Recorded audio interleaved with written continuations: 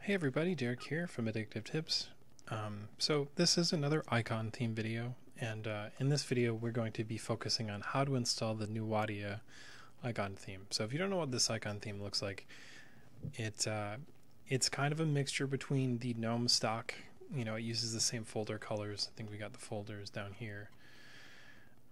It uses the same folder colors. I guess we don't have folders uh, as GNOME, but it adds in a modern, you know, flat uh, material design. So to start the installation, you need to install the Git package. Now, it doesn't matter what distribution you use, it's all the same package name. So just do sudo and then find the Linux distribution that you use here and install it that way. For me, for Fedora, it would be sudo dnf install git, enter my password, and uh, it will go through and install what we need to install. Now, if I don't, I don't need to go through the installation for this already because I already have uh, Git installed as it says here. Once we do that, we can go down to the instructions and we need to clone the icon theme.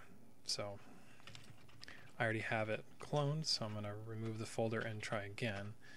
So it'll download all the files. Um, may take a little bit, as you can see, it's kind of slowing down here that's normal. It's a, a lot of stuff. It's a lot of a lot of stuff.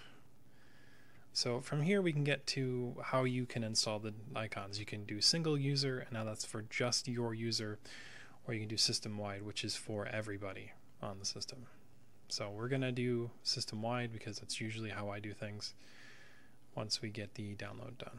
Alright, so our files are done downloading, so we can run the ls command and we can see the Newaita icons are here, so we can do cd Newaita. Run the ls command again. We see there are two different icon themes. We got the dark and the regular. So let's move both of them into the installation folder, the icon folder. sudo mv Newaita.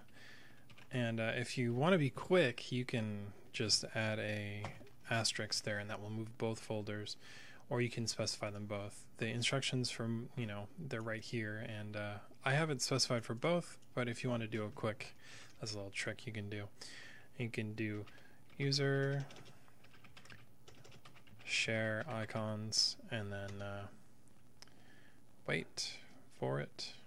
It's going to move all the files, run the ls just to make sure, and they're no longer there. We can then open up our appearance settings uh, I'm using XFCE, so it's going to be a little different on mine if you're using a different distribution and a different uh, desktop environment. But uh, you know, just go to your appearance settings, and if you need more help, the instructions on how to enable it for virtually every desktop are right there.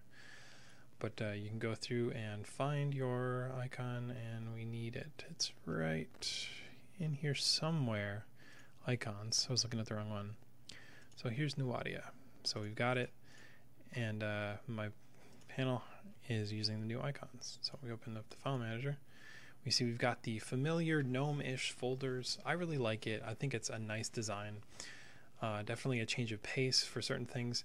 Now, if you use this, not every icon is going to be the same. Some won't be used. It's just because it's a new icon theme. So, uh, anyways, guys, I hope you enjoyed this video. Please check out the link in the description for more information, and I will see you again next time.